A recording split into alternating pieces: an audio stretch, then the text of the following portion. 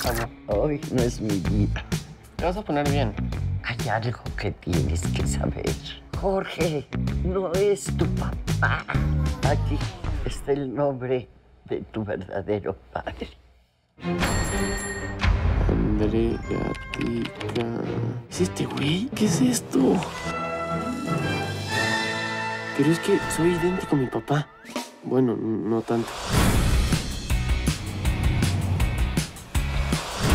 André Gatica. Estás contratado, empiezas mañana. ¿Cómo? No, no, no, no, no. Fuera de aquí. ¡Vámonos! ¿Seguro que él es tu papá? A ver, es igual de teto que Jorge. Estamos narizones los dos y pues, tenemos manos grandes. Veo que ya conocieron al nuevo miembro del equipo, ¿no? Me llamo Ian. Chido. Vaca, enséñale algo. Soy vaca lechera. Mis amigos me dicen vaquita. ¡Qué buen chisme! ¿Y él sabe que es tu papá? No se lo he podido decir. Era muy famoso, tenía todo lo que él quería. ¡André Gatica! Hasta que la cagó. Le pegó a un conductor muy famoso, Adal Ramones. Evidentemente nadie quería trabajar con él. Acabo de cerrar un deal y mañana tenemos que estar en Mr. Pollo en la tarde. Yo soy Mr. Pollo. Tú eres Ernestina la gallina corista de Mr. Pollo. Así que ahora te dedicas a esto. Eras el mejor actor de nuestra generación.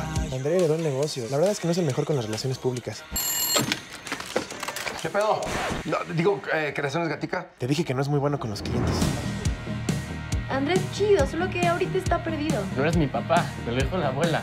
Lo que Jorge dejó por ti era mucho mejor que todo esto. Voy a ayudar a mi papá, de verdad.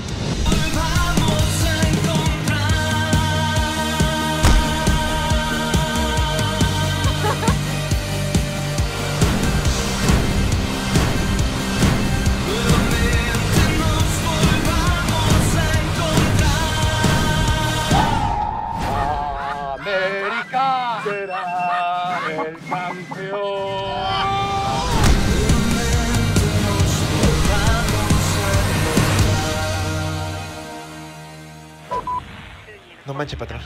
Si me revisan las chichis, nos vamos todos a la cárcel.